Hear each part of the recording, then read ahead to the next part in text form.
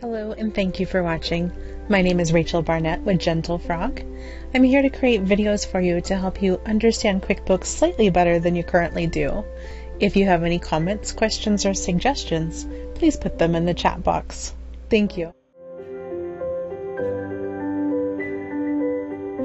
Hi, this is Rachel from Gentle Frog. In this video, I want to show you how to disconnect a bank account from QuickBooks Online.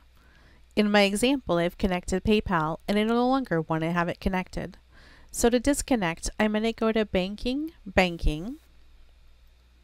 I'm going to select the pencil in the box where it says PayPal. I'm going to choose Edit Settings. At the bottom of my screen, I'm going to select Disconnect PayPal.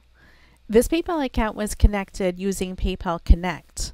There's a different way to connect your PayPal, so if you see a disconnect screen that looks different, that's okay. All right, so disconnect. Um, I don't really feel like giving an explanation. um, so here we are, we're disconnecting. I have now disconnected PayPal from my QuickBooks. Any history that I had is still in QuickBooks. I've just disconnected it so that it's no longer syncing data. I hope this information was helpful. If my team and I can do anything for you, please don't hesitate to reach out.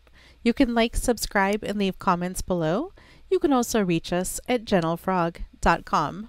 Thank you so much.